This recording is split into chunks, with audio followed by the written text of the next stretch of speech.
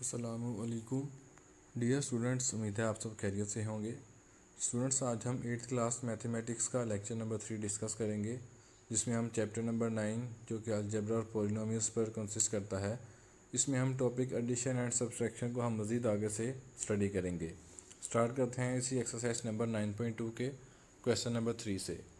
Question में कह रहा है कि आपके पास what should be added to eight y four plus three y cube minus five y square minus two y plus eleven to get the sum eleven y four minus four y cube plus two y square plus three y plus seven यानी कि question में उसका मतलब है कि हम जो eight Y की four plus three y cube वाली एक्सप्रेशन के अंदर हम कौन सी एक्सप्रेशन क्या चीज़ उसके अंदर ऐड करेंगे, जिसे ऐड करने के बाद वो eleven y four minus four y cube वाला एक्सप्रेशन बन जाए? यानी कि जो पहले वाली वैल्यू है, वो हमारे पास एक छोटी वैल्यू है, उसके अंदर हम कौन सी चीज़ को ऐड करेंगे तो ऐड होने के बाद वो बाद वाला एक्सप्रेशन बन जाए। तो हमारे पास सिंबल इसका आंसर से हम स्टार्ट करेंगे कि let the required polynomial p ये एरो से आपको शो करेगा हम step by step at a time किस स्टेप पर हम वर्क कर रहे हैं। हमने सबसे पहले जो हमें पोलिनोमियल चाहिए, हम उसको लेट कर लेते हैं कि वो पोलिनोमियल पी है ताकि हमारे पास जो रिक्वायर्ड चीज़ है, जो हमें चाहिए, हम उसको फाइंड कर सकें। अब according to the given condition जो क्वेश्चन में गिवन कंडीशन दी गई है, उसके मुताबिक फ़र्स्ट पोलिनोमियल पी है और जो सेकंड वाला ऊपर हमारे पास क्वेश्चन में गिवन एट बाई फोर वाला। तो हम जब सम करना है तो ऑब्वियसली हम इसका मतलब है कि हम पी पोलिनोमियल के अंदर जो एट बाई की फोर वाला एक्सप्रेशन है, उन दोनों को ऐड करेंगे और दोनों को ऐड करके जो रिजल्टेंट लास्ट वाली लाइन में जो इक्वेशन लिखी है, आपकी एक्सप्रेशन इलेवन बाई फोर उस एक्सप्रेशन के इक्वल रखेंगे, हम इक्वेशन बन जाएगी। तो इस इक्वेशन के अंदर p plus eight by four वाले एक्सप्रेशन इक्वल रिजल्टेंट है। इलेवन बाई फोर वाला एक्सप्रेशन को हमने इक्वल के राइट साइड पे रख दिया। अब चूँकि हमारे पास ये जो साइड में एक साइड पे जब कोई वैल्यू प्लस हो रही हो तो जब साइड चेंज करके इक्वल के दूसरी साइड पर जाती है तो वहाँ पर जाके उसका साइन चेंज हो जाता है।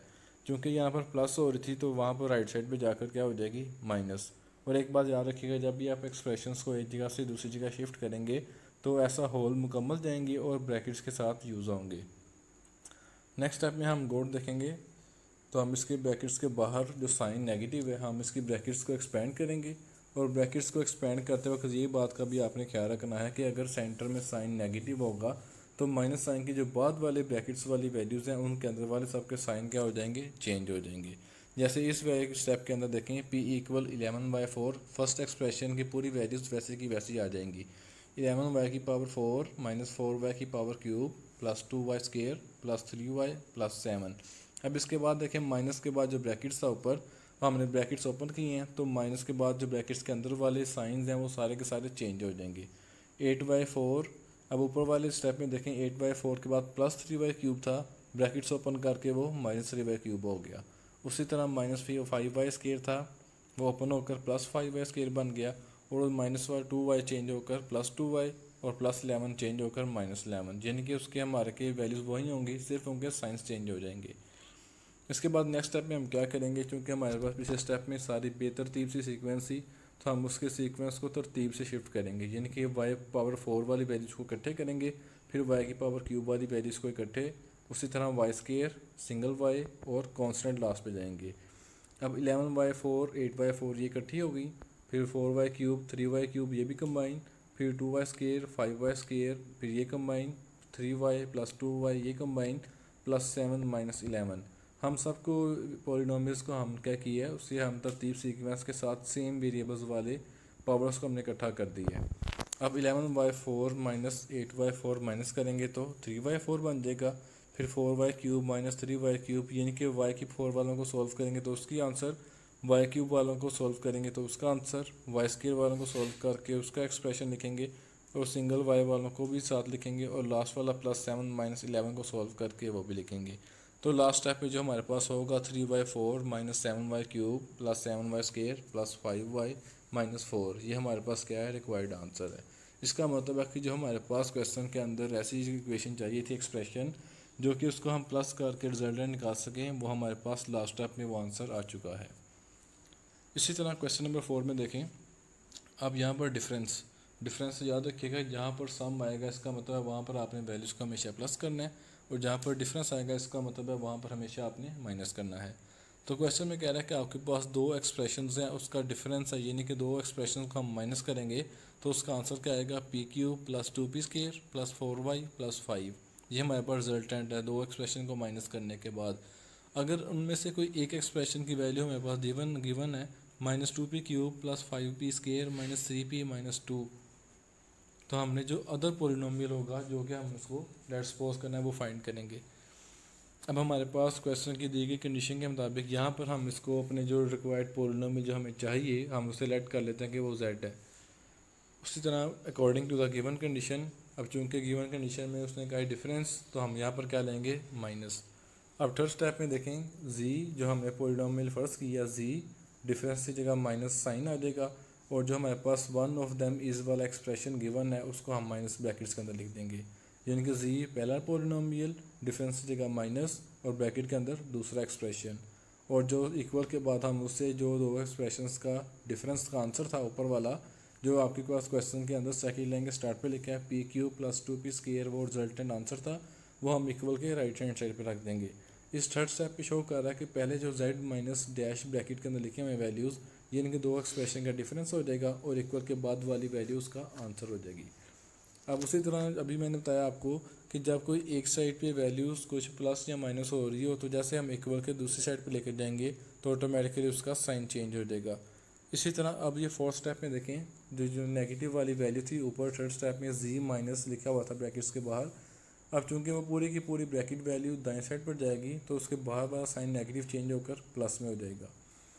अब यहाँ पर बन जाएगा हमारे पास g equal p cube plus two p square plus four p plus five first expression plus जो वहाँ से साइड चेंज होकर आया है साइन प्लस हो गया। ब्रैकेट्स के अंदर वाली वैल्यूज़ और साइन सारे वही रहेंगे। Minus two p cube plus five p square minus three p minus two तो यानी कि हमने उसको साइड चेंज करके साइन में चेंज कर दिया। नेक्स्ट स्टेप में हम क्या करेंगे, हम उसके ब्रैकेट्स को ओपन करेंगे। तो देखा, जो फ़र्स्ट वाला एक्सप्रेशन है, वो वैसे के वैसे ही ओपन होकर आ जाएँगे, क्योंकि वो हमेशा फ़र्स्ट एक्सप्रेशन है और इनके स्टार्ट में साइन भी पॉजिटिव है तो जिसके बाहर साइन प्लस हो, वो वैल्यूज़ को साइन चेंज नहीं होते। P cube plus two p square plus four p plus five वैसे आ जाएँगे। उसके बाद है प्लस और ब्रैकेट्स के अंदर माइनस याद रखिएगा, जब दो वैल्यूज़ डिफरेंट साइन आपस में मल्टीप्लाई हो तो हमेशा आंसर माइनस आएगा। प्लस माइनस हो, फिर भी माइनस, और अगर माइनस प्लस हो तो फिर भी minus. Minus two p cube, फिर plus plus plus five p square minus three p, minus two. अब ये गौर करें तो हमने अंदर वाले साइन इसीलिए चेंज नहीं किए कि बाहर इनके बाहर साइन था पॉजिटिव। जब वैल्यूज़ का साइन बाहर पॉजिटिव हो तो ब्रैकेट्स के अंदर वाले साइन चेंज नहीं होते। ये हमने क्या कर दिया? सिंपल स्टेप में हमने ब्रैकेट्स को एक्सपेंड कर दिया। अब हम नेक्स्ट स्टेप में देखें। यहाँ पर हम क्या करेंगे? जैसे हमने पिछले क्वेश्चन में किया कि हम सेम पावर वाले पोलिनोमियल्स वेरिएबल्स को इकट्ठा करेंगे। पी क्यूब पी क्यूब वाले इकट्ठे कर लिए, फिर पी स्केयर पी स्केयर वालों को इकट्ठा कर लिया, फिर सिंगल पी सिंगल पी वालों को इकट्ठा कर दिया और लास्ट पे कांस्टेंट आ जाएँगे। P cube minus two p cube करेंगे तो सिंपल बड़ी वैल्यू टू पी क्यूब है, इसलिए साइंस का बड़ी वैल्यू का माइनस पी क्यूब आएगा। फिर plus two p square plus five p square को दोनों प्लस में है तो प्लस करके प्लस सेवन पी स्केयर हो जाएगा। Plus four p minus three p में से सिंगल एक रह जाएगा तो वन पी अब वन पी को अगर हम सिंपल पी भी लिखेंगे सिंपल पी का मतलब यही होता है कि उसका वन पी है। जब किसी वेरिएबल के साथ कोई वैल्यू ना लगी हो तो इसका मतलब ये होता है कि उसके साथ ऑटोमेटिकली वन लगा हुआ है। प्लस पी का मतलब प्लस वन पी और लास्ट पे प्लस फाइव माइनस टू तो सिंपल माइनस करके इसको प्लस थ्री आ देंगे। अब ये वो एक्सप्रेशन हमारे पास लास्ट स्टेप पे ये आंसर आ गया। इसका मतलब है कि हमने जो दो एक्सप्रेशन को माइनस किया था, जिसका आंसर माइनस करने के बाद ऊपर एक्सप्रेशन में गिवन है तो उसका मतलब वो जो अननोन वेरिएबल हमें चाहिए था पोलिनोमियल वो हमारे पास लास्ट स्टेप में आंसर मौजूद है। Minus P cube plus seven P square plus P plus three ये हमारा रिक्वायर्ड आंसर है। फिर आता है क्वेश्चन नंबर फाइव बहुत ईजी है। इसमें क्वेश्चन नंबर कह रहा है कि इफ़ अगर हमारे पास एक्स के एलिमेंट्स यानी कि एक्स को उसने इक्वेशन में लिखा कि एक्स की value A four plus two A cube minus four A square plus A plus one हो और वाई की वैल्यू हो two A four plus five A cube plus three A square plus six A minus two और इसी तरह जी की value हो minus three A four minus seven A cube plus four A square minus five A plus eight हमने find the value of X plus Y plus Z निकालना है। यानी कि हमारे पास एक्स वाई और जी की वैल्यूज़ गिवन है। हमने simple X plus Y plus Z find करना है। इसको फाइंड करने का सिंपल तरीका ये कि हम x plus Y plus Z लिख के पहले x है तो हम पहले x की वैल्यूज़ को पुट करेंगे प्लस लिखेंगे, फिर हम y की वैल्यूज़ को पुट करेंगे प्लस करके हम लास्ट पे जी की वैल्यूज़ को पुट करेंगे। जैसा कि आंसर में आपको ये वर्टिकल एरो की शो में लगा हुआ आपको फ़र्स्ट स्टेप नज़र आ रहा है X plus Y plus Z equal चूँकि स्टार्ट पे एक्स था तो हम सबसे पहले एक्स की वैल्यू को ब्रैकेट्स के अंदर लिखेंगे, फिर प्लस लगाकर सेकंड पे वाई की वैल्यू आती है तो फिर हम ब्रैकेट्स के अंदर वाई की वैल्यू लिखेंगे। प्लस जी की लास्ट पे आती है तो हम प्लस लिख के लास्ट ब्रैकेट्स में जी की वैल्यू लिखेंगे। ये हमने इस तरतीब से हमने X plus Y plus Z की वैल्यूज़ को लिखा। अब इस एरो हेड में आपको हॉरिजेंटल फॉर्म में नज़र आ रहा है कि हमने सेकंड स्टेप में क्या किया, हमने सिंपल ब्रैकेट्स को एक्सपेंड कर दिया। जिनकी जो ब्रैकेट्स लगी थी, उसको हमने ओपन कर दिया। अब चूँकि देखेंगे तीनों ब्रैकेट्स के दरमियान क्या है साइन प्लस तो इसका मतलब है कि ब्रैकेट्स के अंदर जो साइन होंगे, वो वही रहेंगे और सिंपल ब्रैकेट्स को एक्सपेंड कर लेंगे।